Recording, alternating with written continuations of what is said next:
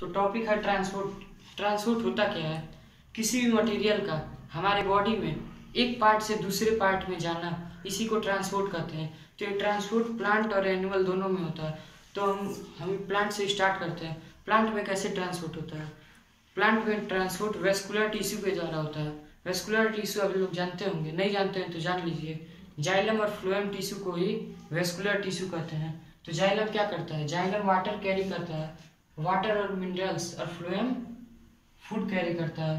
तो xylem to तर, दो तरीके से वाटर को कैरी करता है। एक ट्रांसपीरेशन और एक रूट प्रेशर ट्रांसपीरेशन कैसे? मान लीजिए कोई एक सिंपल सा पेड़ है और ये सेल्स हैं उसके। सेल का मैंने एक सेट बनाया है रूट से लेके पूरे पार्ट ऊपर अपर पार्ट तक। एक्चुअली सेल्स इतने बड़े होते नहीं लेकिन मैंने बताया है एक मान के चला है इतने बड़े सेल्स हैं पूरे यहाँ से यहाँ तक। तो इसमें वाटर मॉलिक्यूल्स है सब में अब क्या होता है? जब सनलाइट पड़ता है अपर पोर्शन पे तो ये क्या करता है? वाटर लॉस हो जाता है।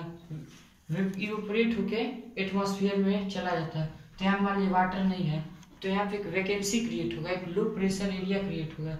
और यहाँ पे नीचे वाले में एरिया हाई प्रेशर हाई है तो जिसके कारण ये वाटर इसमें शिफ्ट हो जाएगा अपर वाले में। तो यहाँ पे वाटर की कमी है हुई तो फिर यहाँ पे लो प्रेशर क्रिएट हुआ। फिर ये किससे वाटर लेगा? नीचे वाले से। क्योंकि नीचे हाइयर प्रेशर है।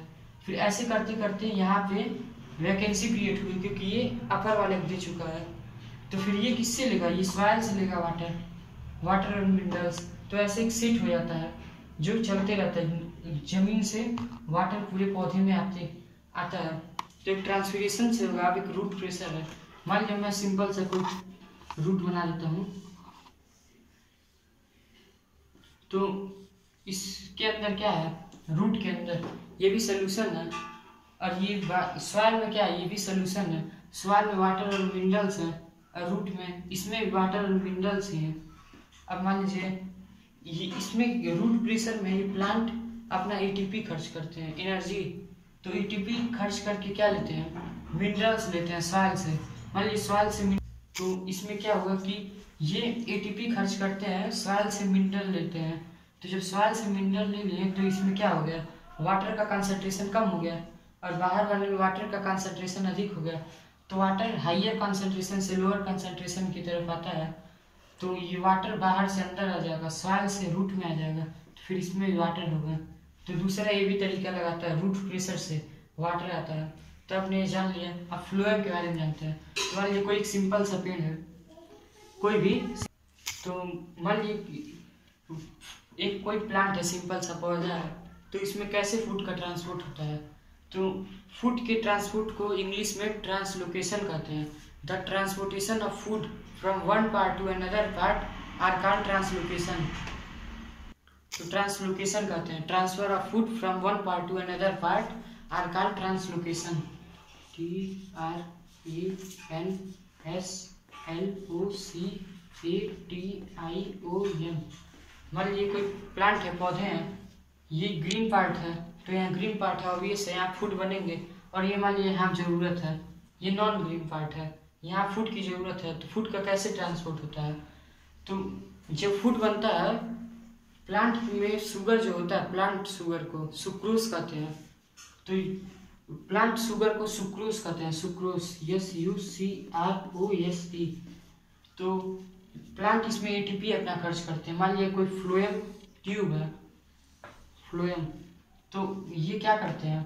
प्लांट ये अपना एटीपी खर्च करते हैं। एटीपी खर्च करके सुक्रोज लेते हैं यहाँ से ग्रीन पार्ट से। जब ये सुक्रोज तो ये जब सुक्रोज लेते हैं एटीपी खर्च करके ले लिए तो इसमें क्या हो गया? हाइयर प्रेशर होता है क्रिएट हुआ इसके आसपास क्या होते हैं? जाइलम वेसल्स होते हैं। इसके आसपास होंगे जाइलम वेसल्स होते हैं। तो ये क्या करते हैं? इसमें वाटर का कंसंट्रेशन अधिक होता है और फ्लोएम ट्यूब में वाटर का कंसंट्रेशन कम होता है। तो ये वाटर क्या करता है? जाइलम फ्लोएम में दे देता है ट्रांसफ़र कर देता है।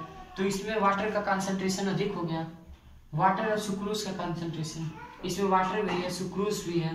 तो अब यहाँ क्या होता है? एक हाइयर प्रेशर एरिया क्रिएट होता है। अब यहाँ पे हाइयर प्रेशर एरिया क्रिएट होता है और जहाँ पे ज़रूरत है, वहाँ लो ही प्रेशर होगा भाई। तो विंड का ट्रांसपोर्ट भी ऐसे होता है। तो विंड का ट्रांसपोर्ट भी ऐसे होता है higher pressure to lower pressure तो यहाँ पे एक सीट बन गया हाइयर प्रेशर का। तो हाइयर प्रेशर और यहाँ पे मान लीजिए ज़रूरत है, यहाँ पे यहाँ पे लो प्रेशर एरिया होगा। तो हाइयर प्रेशर से लोअर प्रेशर की तरफ़ सारे मॉलिक्यूल्स चले आएँगे सुक्रोस और वाटर तो ऐसे फ़ूड का ट्रांसपोर्ट होता है प्लांट में। तो अब आते हैं एनिमल पे।